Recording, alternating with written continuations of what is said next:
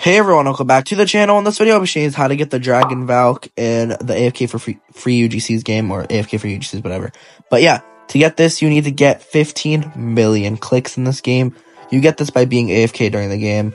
I really do like the Valk design on this one, it's really nice. So I'll probably be taking a break from this game in a few days or just like for a few days, um, just to give a variety to different games. And I'll come back to this I've been posting a lot about this game, and I'm pretty sure you guys want to see something new. So I'll take a little break um, from this game, and I'll get back to it eventually.